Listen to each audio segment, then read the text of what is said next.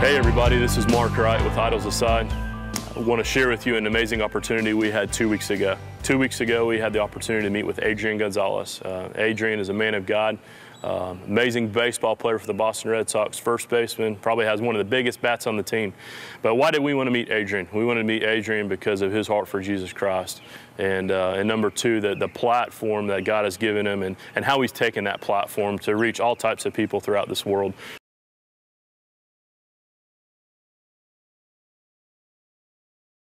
Friends and supporters of Idols Aside told us about Evan. And uh, Evan uh, is a freshman in high school, uh, plays on the varsity baseball team. It's probably the biggest team in Maine. Uh, and he uh, is a great kid, uh, but was diagnosed with a rare form of cancer a couple years ago and has been battling that, but has been an amazing young man. And Uh, just being able to use uh, what God's put in his life to, to really change other people's lives. And he's using that cancer to, to make a difference.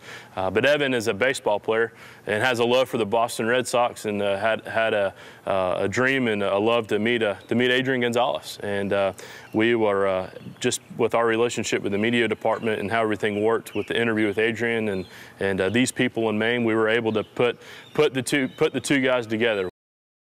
But something better came from just this meeting with Adrian and Evan. And uh, what happened was um, Evan and his mother, wonderful people, uh, uh, were in the Catholic faith. And uh, they got to hear the story of Adrian and how you know, he growing up being Catholic uh, came to Christ in 03. And uh, we had the opportunity, I had the opportunity to share with Evan um, how to come to Christ and that, you know, going to heaven is not through works, but it's through the blood of Jesus Christ through the cross. And Evan gave his life to Christ right there on the green monster. Powerful, powerful day.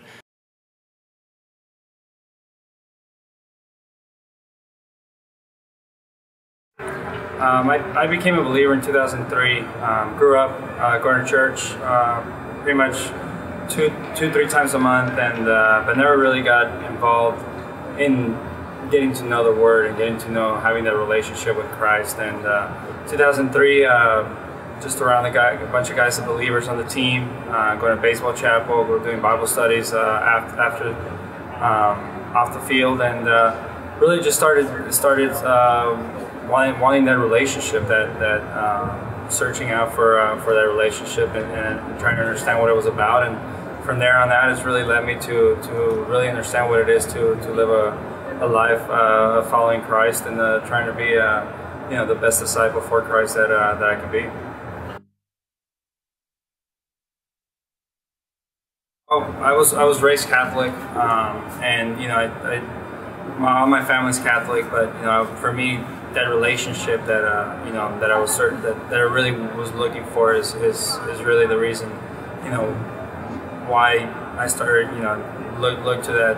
Um, like to, to Christianity, and so um, you know it's it, it's just something that I, I believe that you know it's in the Bible that it's it's belief in, in, in Christ um, that, uh, that, that you're searching for and, and, that what you need, and so um, it's you know it's it's been unbelievable to, to know what it is to, to have that relationship and to um, live your life out through, through how the gospel teaches you and, and, and how you know my marriage and just my attitude on the field and everything else just you see a different perspective in life. You see different you put yourself in a different position and you, you don't put yourself first you put yourself last. And uh, you know that that's a perspective that uh, I never thought I would have been able to do until um, I became a believer.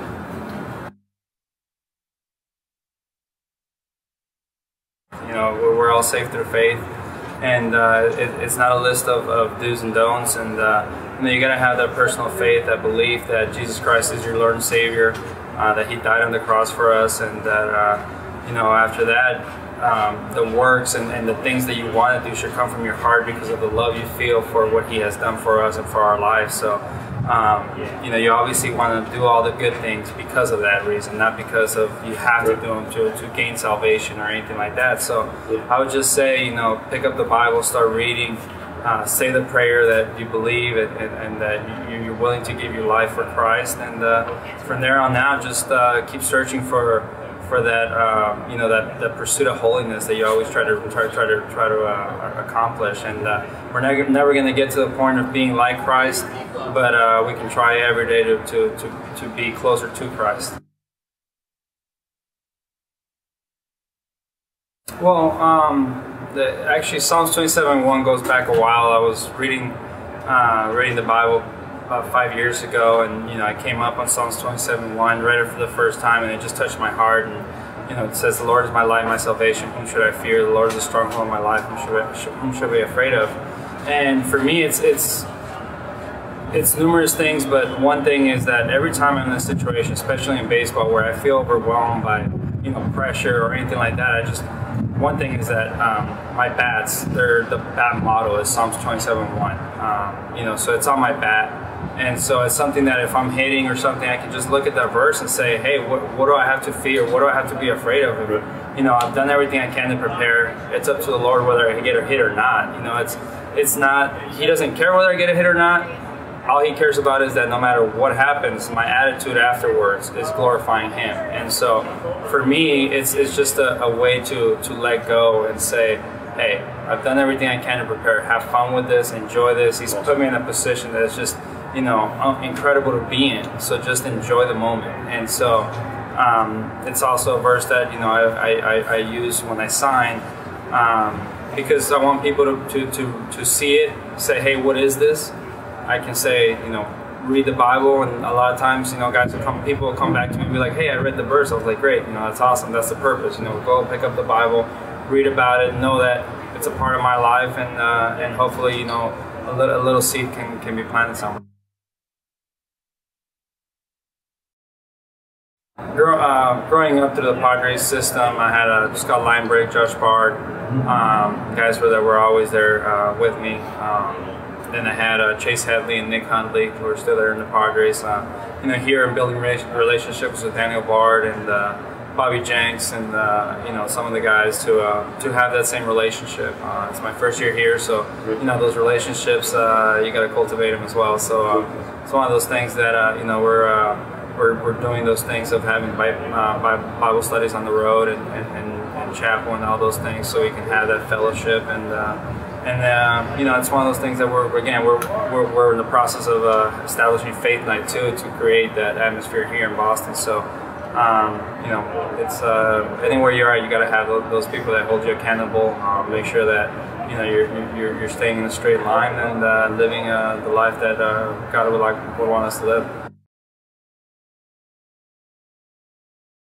I mean, the first thing I would say is that you know you can have whatever you want in this earth, and at the end of the day, you're gonna want something else. Um, you know, it's one thing I like to tell people is what do you put your your your foundation on? You know, if, if it's for if it's for me, if it's being the best baseball player I could be, and I go out there and get hurt and I can't play, you know, the rest of my life.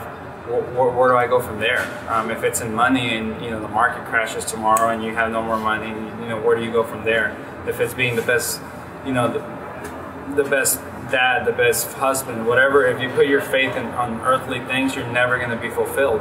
But if you put your faith in Christ, then you're always going to be fulfilled because no matter what happens, you know that that, that salvation and, and the love that He has for you, and He's never going to put you in a situation that you cannot, uh, you know, get past. And, and He knows everything. Uh, you know, He knows He knows us. You know, from the bottom, from the from the top to the bottom, and uh, so it's, it's one thing that just knowing that if you put your faith in Christ um, and not on something. For me, one thing that I always keep in mind is that uh, success is not defined in the box score, whether I go for four or four for four. It's how my attitude towards Christ is on that day. I go for four or four strikeouts and have the best day of my life because I was my attitude was perfect with Christ, and, and, and, and I was thankful that you know I was able to be on the field and be healthy, and be able to come out tomorrow and play again at the same time I can go four for four and have a great day, win the game for us, and and be be horrible because I thought it was about me, and I made it about me. And it's, it's it was for for for the moment of time I thought it was me that got it done, and you know what? At the end of the day, it's never me. It's it's, it's the gifts and, and the blessings that God has given me.